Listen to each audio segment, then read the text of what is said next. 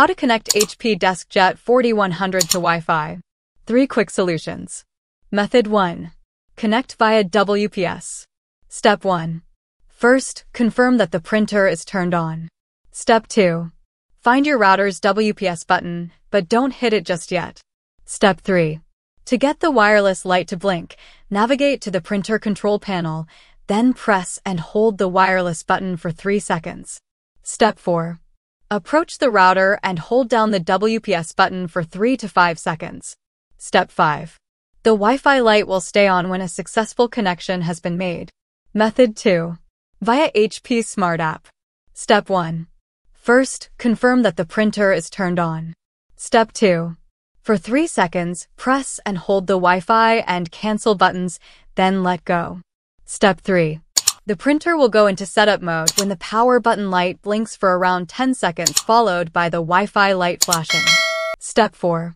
Proceed to your PC, launch the HP Smart App, and select Add Printer. Step 5. Click Proceed after selecting your printer. Step 6. Click Continue if the app asks for permission to access the Wi-Fi password.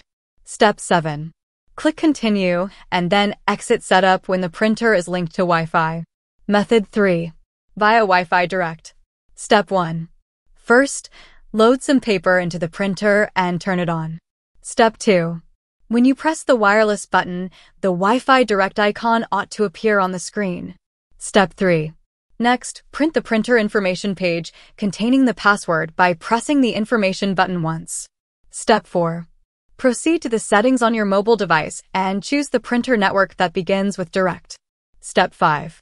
Consult the printer details page, type the password, and select Join. Step 6. Next, launch the HP Smart app. Pick your printer from the list by clicking the Add button. For more assistance and information of this kind, visit us at or contact us at USA plus plus one two one three three three four six two five one.